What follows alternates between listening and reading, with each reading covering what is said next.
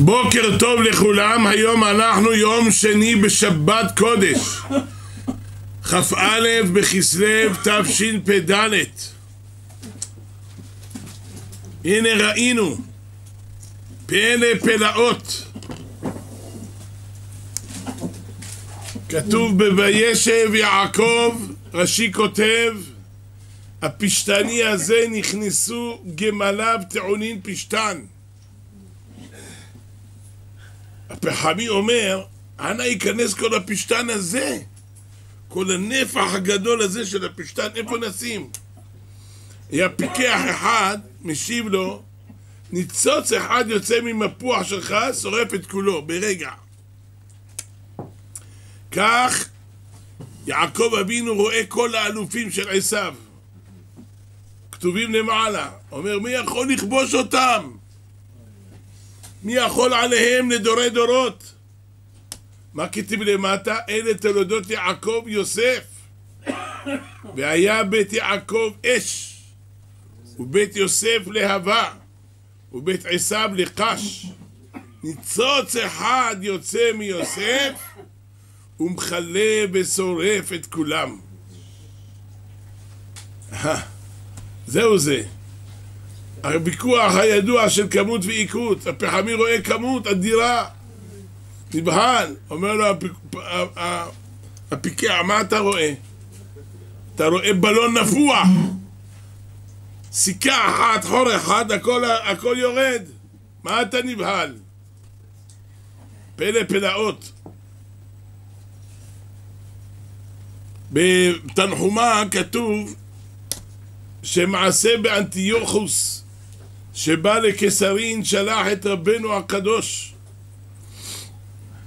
והלך עמו רבי שמעון בנו ורבי חייא הגדול. ראה רבי שמעון לגיון איזה חיל של מלך נאה משובח. אומר היה לו איזה איזה פאר על הראש איזה, איזה כתרים. אמר לו לרבי חייא ראה כמה פתומין עגלים של עשיו, תראה איך אלה, כל אלה, איך הם מפותמים. איזה אנשים, איזה גיבורים. רבי חייא הוליכו לשוק, ראו שר ענבים, הכל מלא זיבובים. אמר לו, אתה רואה כל הליגיון הזה כמו הזבובים האלה. הלך, סיפר את זה לאביו רבי שמעון.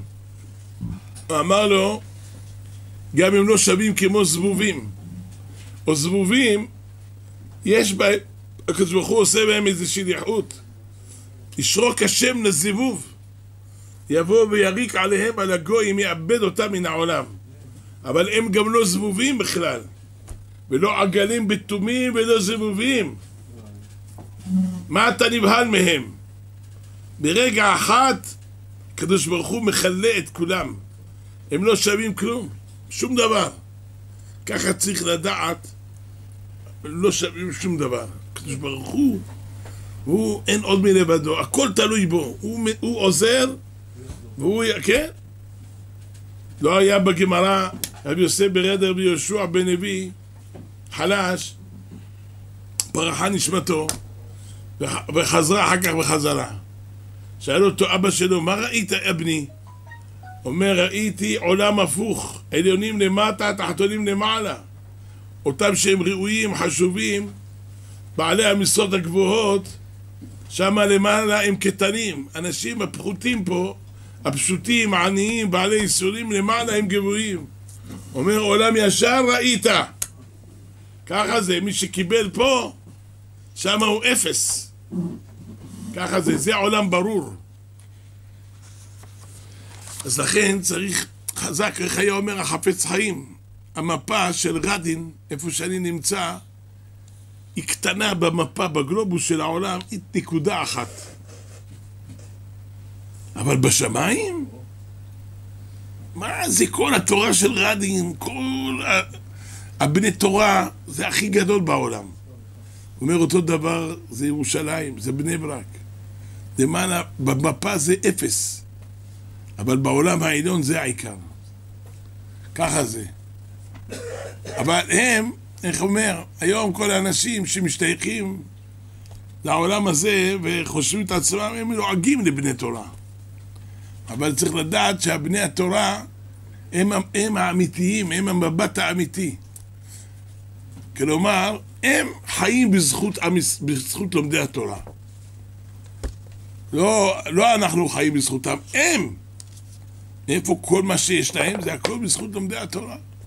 שומעים על בני תורה, בחורי ישיבות, צריך לדעת, הם לא להתפעל מראשי שלטון או מכל הדברים האלה, לא. העיקר הגדול זה מי שלומד תורה. הנשמה היהודית, שהיא הולכת בדרך השם והיא חוזרת בתשובה והיא הולכת בדרך השם, עכשיו זה הזמן שזה ערב חנוכה, עוד ימים, יש זמן לחזור בתשובה עד חנוכה. חנוכה, הימים האלה של תשובה, ואדם יכול להפוך את כל החיים שלו. גם עכשיו, כל מה שהולך מלחמות והכל, ברגע אחת עם ישראל יכול להפוך. ברגע שאנחנו הולכים בדרכי השם. כי אין למעלה מזה. כלומר, אין בעולם כמו מי שלומד תורה.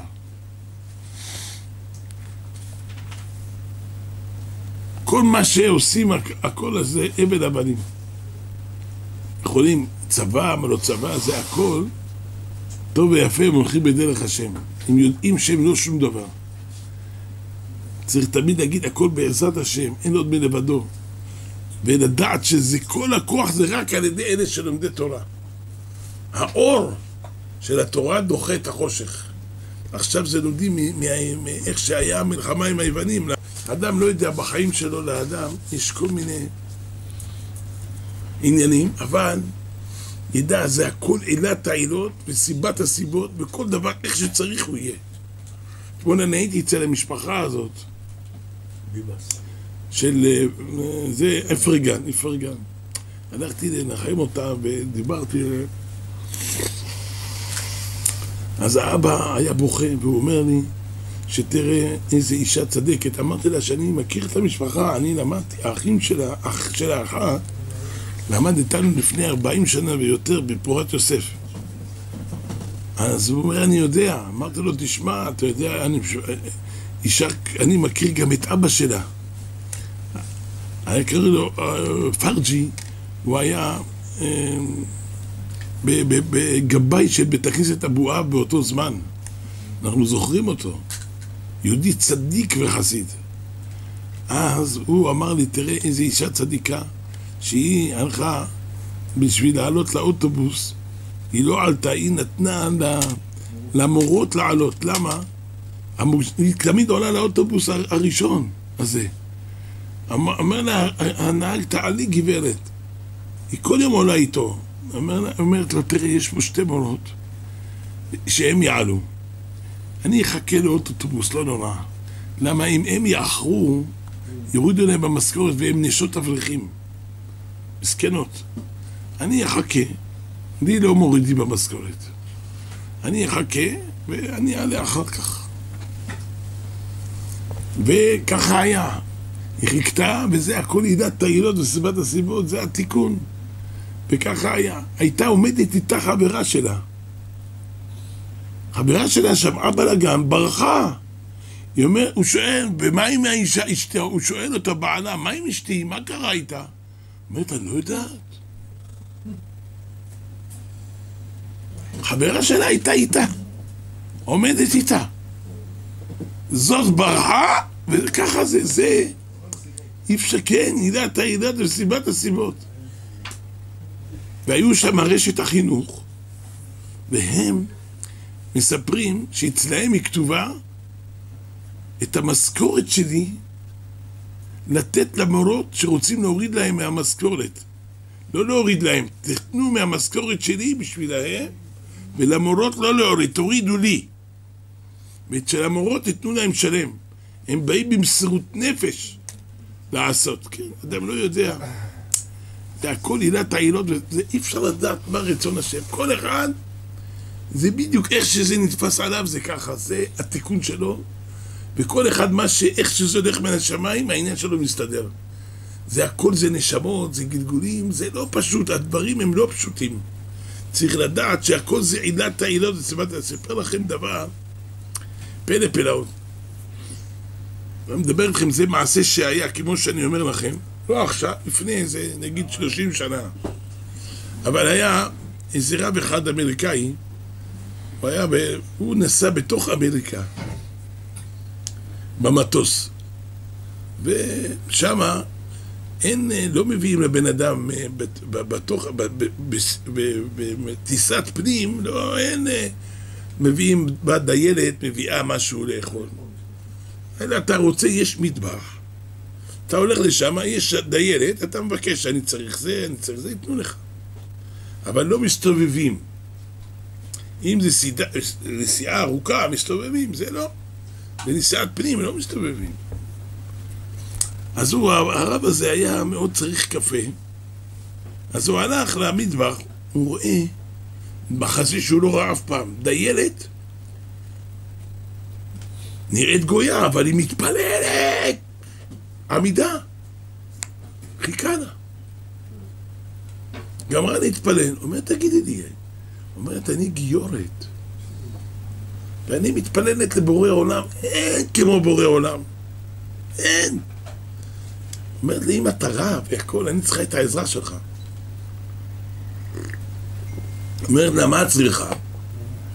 אומר, אני יצאתי אצל בחור טוב, נראה שמיים, ויצאנו כמה פגישות, ואני רוצה אותו, אבל אה, אבא שלו שמע שהיא גיורת, אומר, בשום אופן לא יהיה.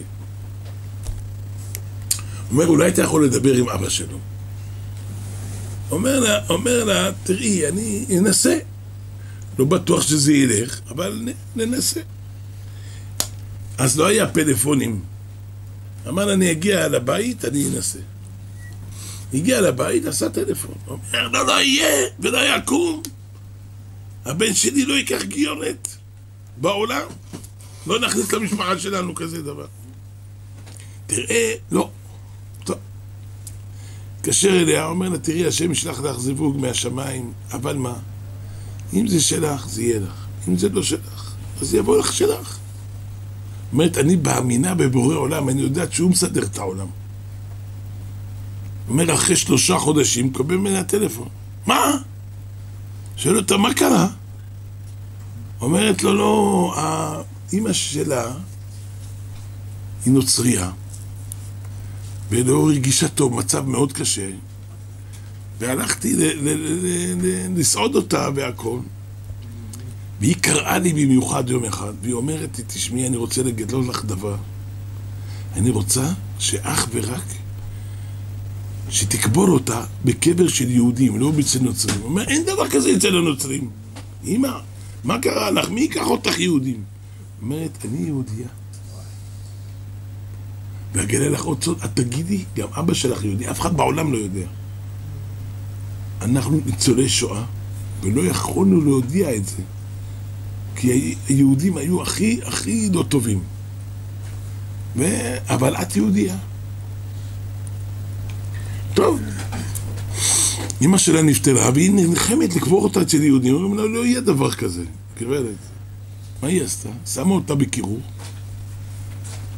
הפעילה כוחות ללכת למרתפים בפולין, נכנסו, נכנסו שם למרתפים, איפה שיש את כל האוצרות האלה של, ה, של הגרמנים, כל אחד ואחד, מצאו שאלה יהודים, והביאו את המשפחה ואת הכל ואת השמות היהודיים שלהם. הביאה את המסמכים, אמרו לה, בבקשה, קחי אותה, תקברי מה שאת רוצה. אז הוא אומר לה, את יודעת מה, עכשיו אני מתקשר ל... מתקשר לאבא הזה עוד הפעם, הוא אומר, לא רוצה לשמוע אותך. אמר לה, אבל תשמע, היא יהודייה. איזה יהודייה? אתה מחליט פתאום, גיירת אותה, עשית יהודייה? אני לא רוצה גרת. אדוני, לא, טעות, אימא שלה יהודייה. וזה לא מאמין. לא מאמין, לא מאמין. עוד יום מתקשר אליו, תשמע, הם יהודים. אומר, אתה יודע מה? בוא. אמא שלה נפטרה והכל סיפר לו את כל הסיפור, בוא נלך לאבא שלה. אבא שלה כופר מספר אחד, לא מאמין ולא שום דבר. הוא לא יהודי, הוא אומר. הלכו אצלהם. בא, אומר, אני אבוא. הלכו, איזה, אין מזוזה, כל התמונות של הנוצרים. גוי גמור. מה עשה הרב הזה? היה פיקח. התחיל לדבר איתו יידיש עממה. יידיש של היהודים שמה, שהיה תינוק. התחיל לדבר, וואו, זה התחיל לבכות, מדבר איתו יידיש. אבל מה זה יידיש? אומר לו, תגיד לי, מה היה אחרי שהוא בוכה וזה, מה היה השם של, שלך, היהודי? אה, טוב, תגיד. אתה יודע, אני אגיד לך. רק הוא אמר את השם שלו היהודי, זה שהיה איתו, שבא לבדוק, התעלף. מה קרה? הוא אומר, אנחנו בסוף העירו אותו, בקיצור אני אומר לכם, העירו אותו, הוא אומר, אנחנו היינו חברים הכי טובים בחיידר. אני מכיר אותו. בטח, איזה אנשים. הוא אומר, ואנחנו אז אמרנו שהבן ש... שלו עם הבת שלי מתחתנים. בעוד שהיינו חברים. כל כך היינו חברים טובים. שאנחנו נהיה מחותנים ביחד. ואז עשו את החתונה. תראה איך זה עילת העילות מסיבת הסיבות. שדבר צריך להיות, הוא נהיה. זה הכל השגחה עליונה. זה פלא פלאות מה שקורה בעולם.